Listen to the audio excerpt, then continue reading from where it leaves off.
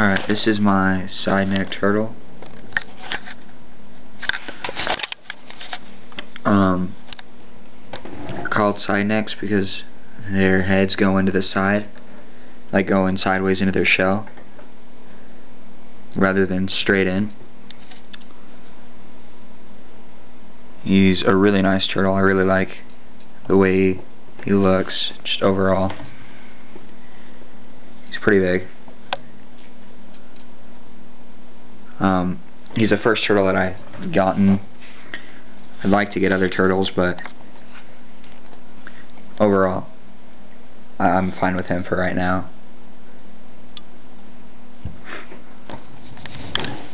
He cost me a little bit of money, a little bit more than I'd wanted to pay when I first got a turtle because I was looking at um, red-eared sliders, and red-eared sliders are considerably cheaper than this guy.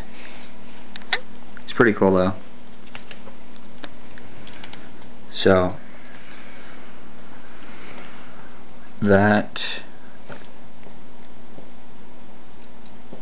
is my side neck turtle.